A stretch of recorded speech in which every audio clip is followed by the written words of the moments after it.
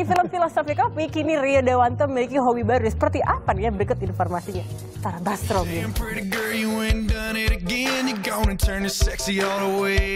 Tidak jarang, peran dalam sebuah film dapat membuat sebuah pemahaman baru tentang sesuatu yang diperankan bagi para pemainnya. Seperti halnya Rio Dewanto, yang kini memiliki pemahaman secara mendalam mengenai kopi. Sejak dia bermain dalam sebuah film yang berjudul Filosofi Kopi.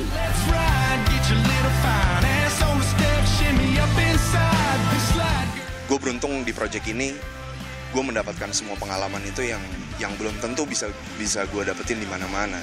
Pas di film ini jadi gue bisa tahu Arabica tuh ternyata dari tiap daerah dari dari Jawa dari Aceh dari uh, Malabar dari mana tuh beda-beda rasanya. Meskipun sama itu jenisnya Arabica tapi karena apa ya karena tanahnya pun beda gitu cara penanamannya beda jadi rasanya pun juga beda.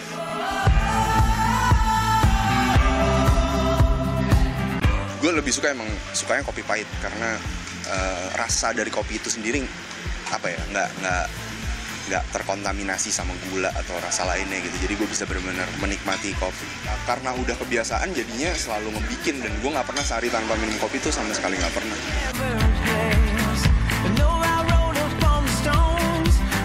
jadinya sekarang kalau misalnya minum kopi agak-agak agak-agak belagu jadi kayak ini kayaknya nih bikinnya kurang ini nih rasanya baunya kurang ini gitu.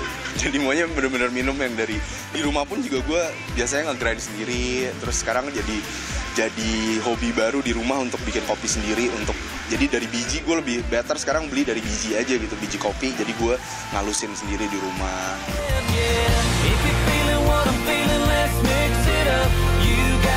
Gayo sih Aceh. Itu dia ada rasa fruitynya dan ada winey-nya gitu. Jadi kayak ada rasa wine.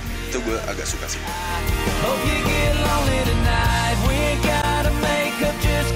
Dari dari Aceh sampai Papua tuh kita punya kopi. Dan itu bisa menjadi karakter bangsa kita sih menurut gue.